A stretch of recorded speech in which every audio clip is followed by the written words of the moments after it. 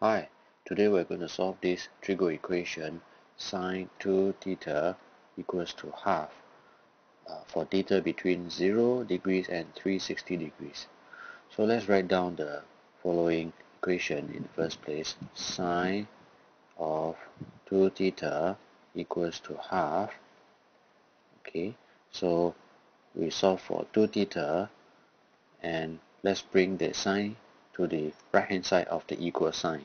So it will become sine of inverse of half. Okay sine inverse of half. So before we proceed we like to take a look at the bounds given. So in this case the theta is between 0 to 360 degrees. But we are actually looking for 2 theta.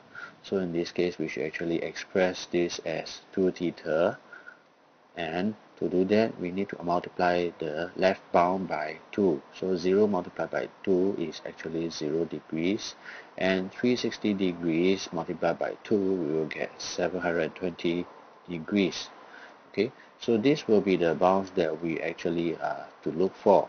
So to solve this uh, 2 theta let's uh, do the sine inverse of half. So we'll get 30 degrees. Okay so for 30 degrees, we're actually looking out for the first quadrant. Okay, so 30 degrees for the first quadrant. And if we notice that for positive of sine, okay, it is also possible to get the other angle that is, in this case, the second quadrant. So to get the second quadrant, we will get to have 180 degrees minus 30 degrees in this case okay? So we have the second quadrant that will also yield the same positive half result. So let's continue for the third possible value. So in this case it's also in the first quadrant but we have to rotate by one round okay? So one round. So in this case what we get is 360 degrees plus 30 degrees in order to get the third value and for the very last value it will be the second quadrant but we will have to rotate by total of one round as well. So in this case what we'll get is 360 degrees plus 180 degrees minus 30 degrees. Okay? So let's simplify this whole set of values so 30 degrees 2 theta is equals to 30 degrees followed by 180 degrees minus 30 degrees we'll have 150 degrees.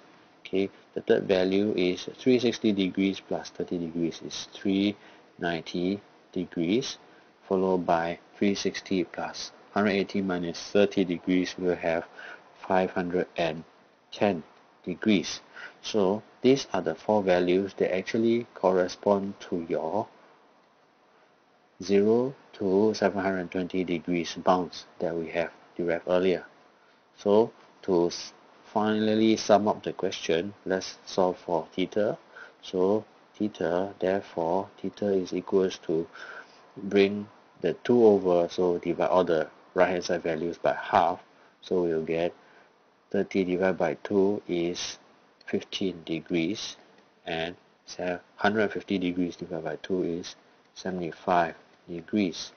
390 degrees divided by 2 is 195 degrees. And finally 510 degrees divided by 2 is 255 degrees. So these are our final values for theta